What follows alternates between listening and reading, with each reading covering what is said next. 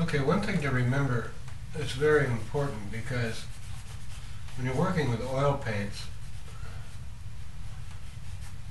it's very, very easy for people to get discouraged in the, uh, see what I'm doing here is I'm rubbing this out with my fingers, I'm talking here, I'm not rubbing it out, I'm just smoothing off the paint. I don't want a lot of big, heavy globs of paint on here right at this stage, you know. Actually, not at any stage, but uh, makes it a little bit easier for me to see. What I was going to say is that uh, in the beginning, uh, the oil paintings in this process can go through a very sort of uh, not very nice looking stage. Doesn't matter. What you have to do is always see beyond that, always see the process. And so I'm trying to show you that process now in the hopes that you won't uh, that in the end you'll be able to understand that there's a there that there is a phases to this, and if you can see imagine the painting at the end, and that there's a process of getting to that end, uh, then you'll feel a lot more comfortable and a lot more uh, less less uh, a lot more confident in your in your process. Okay, you know, so I, have been doing here this morning, as as you all know, is uh, trying to getting some color on here, getting some things in the right sort of place. I told you I was going to go down and paint a little bit more of the nose and define sort of where the middle and the, no and the bottom of the nose are and make sure the eyes are in the right place. So they're sort of okay right now, but I'm going to go back and I'm going to do a little de defined drawing. So I took out a little brush and I'm going to go back and I'm going to hit these eyes a little bit more detail, uh, defining their actual shape, or well, pretty close to their actual shape eyelids.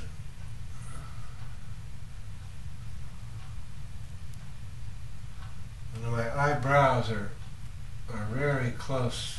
As I get older, my eyebrows, my eyes get uh, get deeper, and and uh, so my eye, my eyebrows just seem closer to my to my eyeballs. I always have to pay attention to that. So I just sort of define the eye, tops of the eyes, very simple.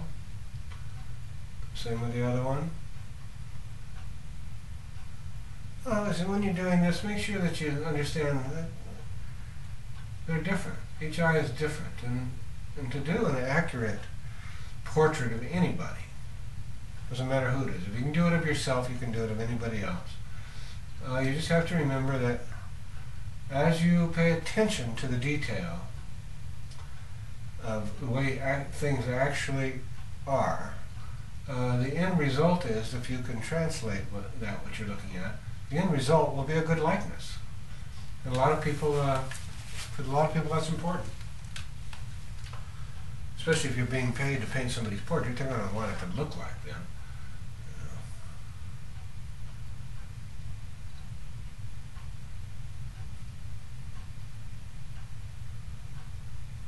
So.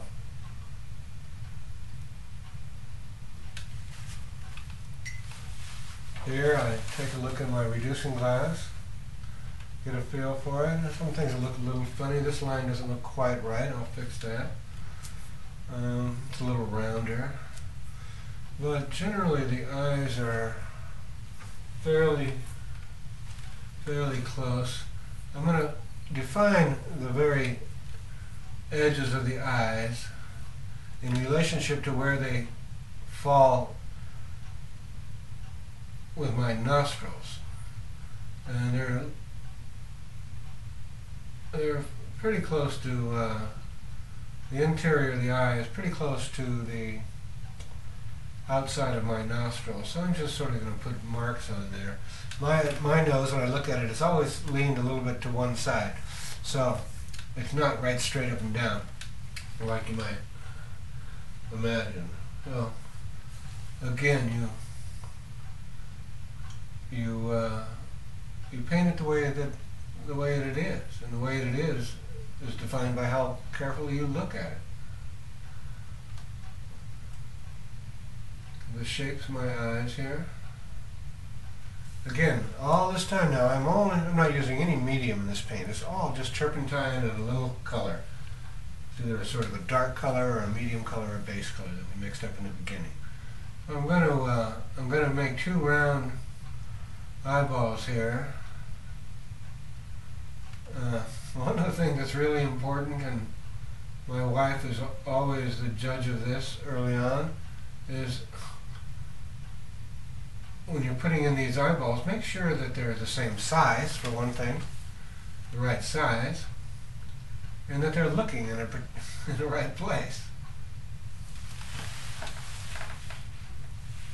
Okay, looking back in my mirror, I'm seeing that my original drawing is a little bit cockeyed in relationship to what I'm doing now. Doesn't matter, because the only thing that's important now is, is the way the, the drawing is proceeding in color. Never get too hung up with your original drawing.